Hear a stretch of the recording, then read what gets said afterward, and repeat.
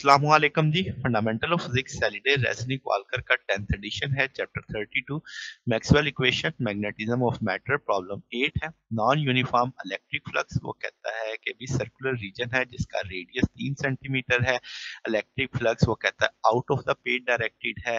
Flux को एक फार्मूले की मदद से बता रहा है टी के लिहाज से वेरी कर रहा है। और आर जो है, वो छोटा है किससे कैपिटल आर से।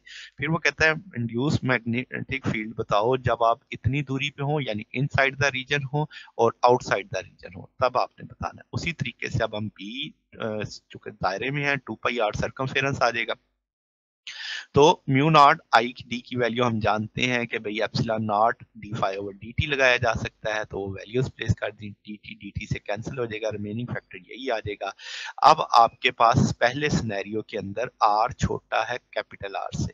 तो इसका मतलब ये हुआ कि अब आर ये नीचे उतरेगा, ये आर इस आर से कट जाएगा रिमेनिंग फैक्टर यही रह जाएगा। पास।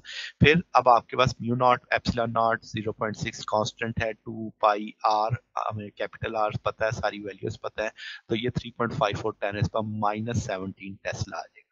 फिर सेकंड केस में जब वो आर फाइव ले रहा है तो अब आर बड़ा है कैपिटल आर से तो बड़े आर की जगह भी हम छोटा आर डाल सकते हैं, ये चीज़ें कट देंगी रिमेनिंग फैक्टर नीचे छोटा आर ही रहेगा, सारा फैक्टर वही है। तो अब उसने छोटे आर की वैल्यू हमें क्या दी हुई है? फाइव सेंटीमीटर वो वैल्यू प्लेस करेंगे तो two point one three ten इसका माइनस सेवनटीन टेस्ला आ जाएगा। तो ये हमारे पास सोल्यूशन है। अगर आपको इसमें कोई बात पूछनी हो डाउट हो, नीचे कमेंट्स में पूछ सकते हैं। वीडियो अच्छी लगी हो तो वीडियो को लाइक कीजिएगा, दोस्तों के साथ शेयर कीजिएगा चैनल को सब्सक्राइब कर दीजिएगा। अब तक के लिए इतना ही। बाकी इनशाला नेक्स्ट देखेंगे। ओके अल्लाह हाफिज।